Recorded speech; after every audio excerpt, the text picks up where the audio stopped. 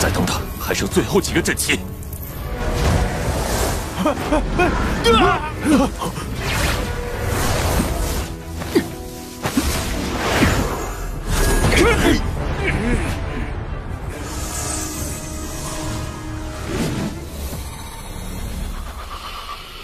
隔绝大阵竟然完成了！看来几位很有自知之明，你就只能被本座慢慢磨死。 Kembali lagi bersama Bang Jago. Seperti biasa, Mimin selalu mendoakan kalian semoga selalu dalam keadaan sehat dan dalam kondisi terbaik. Di video kali ini Mimin akan melanjutkan Donghua Wusen Jujai. Tak berlama-lama langsung saja kita masuk ke isi ceritanya.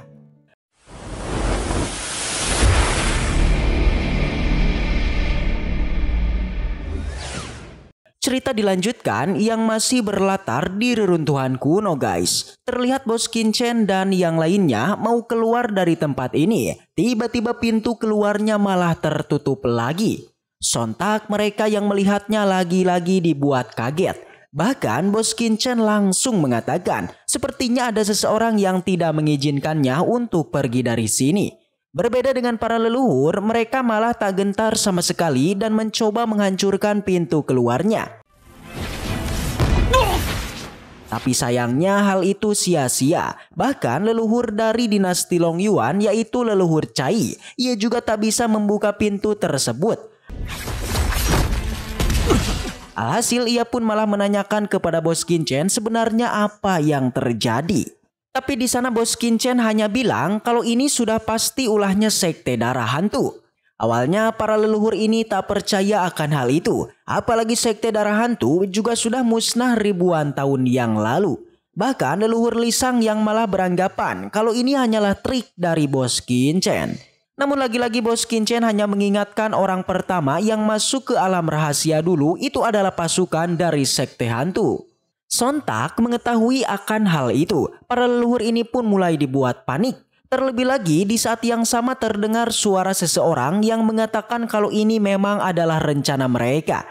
Hanya saja ia tak menyangka kalau bos Kincen bisa menebaknya. Selain itu, dunia ilusi tadi ternyata adalah ulah darinya. Jelas para leluhur yang mendengarnya mereka pun semakin marah dan menyuruh orang tersebut untuk keluar.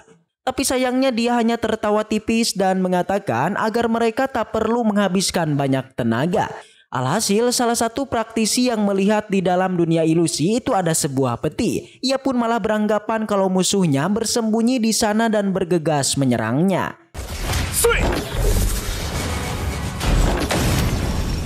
Sontak hal itu membuat pasukan hantu pun sangatlah marah dan benar-benar meladeni mereka. Bahkan ia juga langsung mengaktifkan sebuah formasi yang sangat besar jelas para praktisi yang memang tak tahu akan formasi itu. Sebagian dari mereka pun mau tak mau harus tewas. Sontak para leluhur yang menyadari kalau formasinya sangatlah kuat. Mereka pun juga langsung bergerak. Bahkan ketua papiliun Saguan ia juga langsung mengajak semuanya untuk bersatu demi menahan formasi ini. Sama halnya dengan bos Kincen ia juga menyuruh seluruh rekan-rekannya untuk mendekati kepadanya dan bergegas memasang formasi bertahan. Alhasil tindakan cepat mereka itu sedikit mendapatkan pujian dari pasukan hantu. Namun sayangnya ia juga menegaskan kalau ia tak berniat melepaskan satu pun dari mereka. Bahkan seketika itu juga ia pun memperkuat formasinya yang bahkan bisa menghancurkan pertahanan dari para leluhur.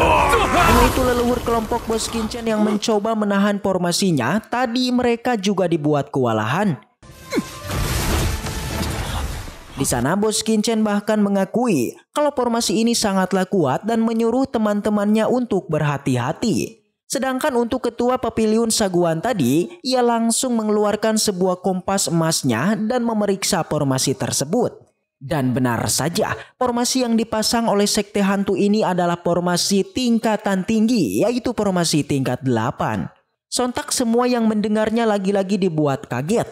Tapi di sana leluhur Lisang hanya mengatakan kalau musuhnya ini belum bisa mengeluarkan kekuatan penuh dari formasinya. Dan oleh sebab itulah selama mereka mau bersatu mereka masih memiliki peluang untuk mengalahkannya. Alhasil para leluhur lain pun percaya dan bergegas menyatukan kekuatannya lagi. Bahkan mereka mengeluarkan sebuah bendera untuk memasang formasi bertahan. Tapi lagi-lagi itu sia-sia karena terlihat formasi mereka ini masih bisa dengan mudah dihancurkan oleh mereka. Sontak leluhur Lisang yang merasa panik ia pun langsung menanyakan kepada ketua Saguan apa yang harus mereka lakukan. Namun di sana ketua Saguan tetap menyuruh mereka untuk mempertahankan formasi ini karena memang prioritas utama mereka adalah menyiapkan formasi isolasi terlebih dulu sebagai balikan dari formasi tersebut. Alhasil bos Kincen yang mendengarnya ia pun sampai mengakui kalau ketua saguan ini memiliki pengetahuan yang sangat luas. Sama halnya dengan para leluhur yang lain, mereka juga langsung percaya dan kembali mempertahankan formasinya hanya itu, ketua Saguan sendiri juga langsung memerintahkan bawahannya untuk membentuk juga formasi pedang langitnya.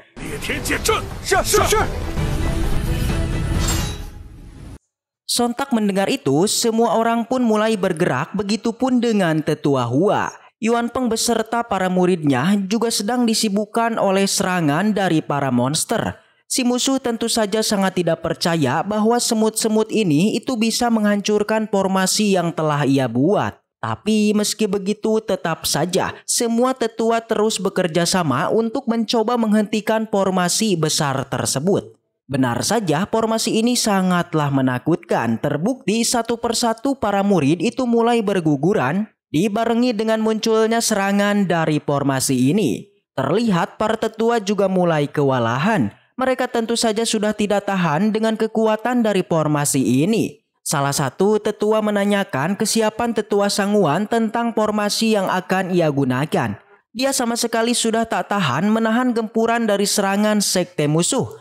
Tetua Sanguan mengatakan bahwa semua orang diharuskan bertahan sebentar lagi. Karena dia masih harus mempersiapkan beberapa bahan yang tersisa untuk membuat formasi. Alhasil para tetua pun sudah tak tahan lagi membuat serangan pun mulai membabi buta hingga kematianlah yang mulai merenggut dari para murid mereka. Akhirnya tak membutuhkan waktu lama. Kemudian bos Kincen lah yang akhirnya turun tangan juga guys untuk membuat formasi perlindungan. Bos Kincen membawa semua bendera dari tangan dari para tetua. Awalnya para tetua tidak terima dengan tindakan Kincen yang menurutnya sudah keterlaluan. Mereka meminta agar bos Kincen segera mengembalikan semua bendera milik mereka. Di sana para tetua juga mulai mengira bahwa bos Kincen ini bukanlah orang baik. Melainkan bos Kincen dituduh telah bersekutu dengan sekte darah. Ketua Sanguan kembali meminta agar bos Kincen mengembalikan semua bendera itu bahwa semua tetua juga mulai bergerak bergegas untuk menyerang bos Kincen. Tapi jelas ini adalah bos Kincen, semua tetua langsung saja dibuat terpental dikala mendapati segel batu bos Kincen yang sangat menakutkan. Dia lalu meminta kepada semua tetua untuk melihat apa yang sebenarnya terjadi. Di mana bos Kincen ini bukanlah ingin merebut bendera mereka, melainkan ia ingin membuat formasi pelindung sendirian.